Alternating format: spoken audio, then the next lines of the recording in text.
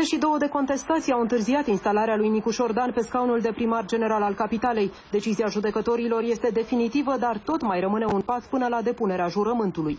E o decizie așteptată prin faptul că nu s-au respectat termenul în care trebuiau să, de, să fie depuse cele 52 de apeluri. A fost o greșeală de procedură pe care i-au făcut. Investirea primarului conform legii trebuie să fie făcută simultan cu investirea Consiliului General. Mai este o problemă de procedură la, între judecătoria sectorului 1 și secretarul general, dar uh, foarte probabil miercuri, joi sau vineri săptămâna asta o să avem investirea și din momentul acela vom avea un nou primar și un nou Consiliu General în București. Judecătorii nici măcar nu au analizat conținutul contestațiilor la adresa primarului ales. Instanța le-a respins ca tardive.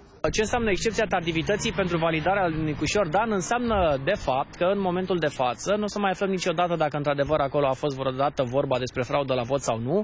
Nu o să aflăm niciodată dacă într-adevăr îndeplinea condițiile de eligibilitate pentru a deveni primar general și nu o să aflăm niciodată dacă într-adevăr erau alte interdicții care puteau să îl invalideze ca primar, pentru că tardivitatea înseamnă că cele 50 și ceva de contestații depuse de către persoanele interesate spre invalidarea primarului nu au fost judecate pe fondul lor. Nici Clotilde Armand, care a obținut cele mai multe voturi pentru primăria sectorului 1, nu își poate prelua mandatul. Așteaptă încă soluționarea celor peste 120 de contestații.